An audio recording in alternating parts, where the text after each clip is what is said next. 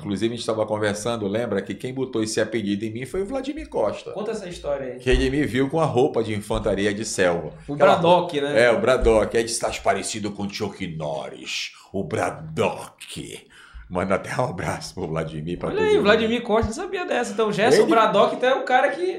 Ele que botou esse apelido em mim. E nós saltamos juntos. Eu, o meu irmão Gilson, o Fabrício e o Vladimir Costa saltamos de paraquedas juntos. Foi primeiro um, depois o outro. E desde essa época que eu fazia sobrevivência na selva, é, rapel, paraquedismo, que ele viu a gente, a gente com aquela roupa, né? E, e veio com essa história do Braddock até hoje, Rock. Chuck Norris, né? É. Braddock. Até parece que eu sou parecido com o Chuck Norris. Ah,